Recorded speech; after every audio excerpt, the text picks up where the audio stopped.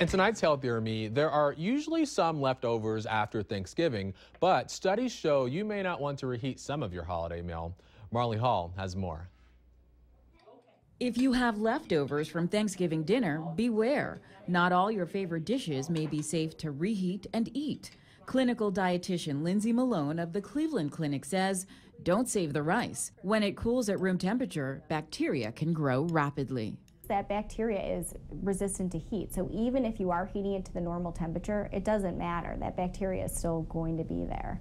Another staple to toss potatoes cooked in aluminum foil. Letting it cool into that temperature danger zone and then also keeping the foil on it, you've created this bacteria breeding ground. You may not heat it sufficiently to kill the bacteria. Foods with a high moisture content like stuffing should also be thrown away. When it comes to poultry, Malone says reheat it to the proper internal temperature to avoid bacteria and don't store the whole bird. Again, that's setting up the situation for bacterial growth. Cut it up into smaller portions, cool it quickly, store it within about two hours.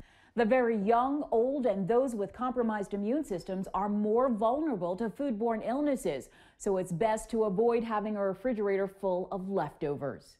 For foods that you do plan on saving, make sure that you get that food into shallow containers and into the refrigerator within two hours. And if you are going to reheat the leftovers, use the oven, not the microwave.